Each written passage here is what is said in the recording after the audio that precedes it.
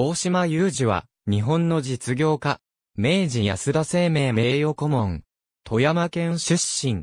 安田財閥の創設者、安田善次郎の生家から20分ほどの町で生まれる。1947年法政大学予科入学。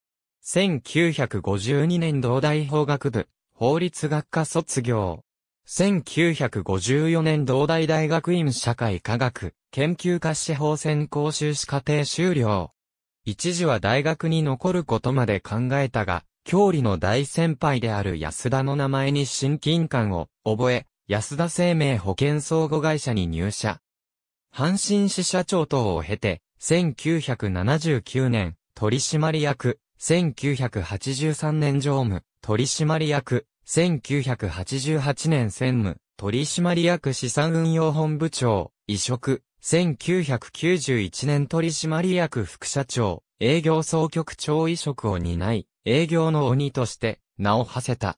1993年代表取締役社長となる。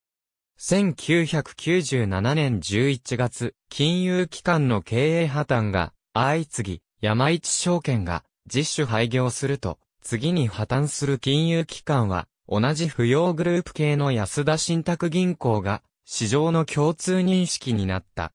そんな中、安田信託社長の立川正美から支援要請の電話を受けた大島は、二つ返事で安田信託支援を約束。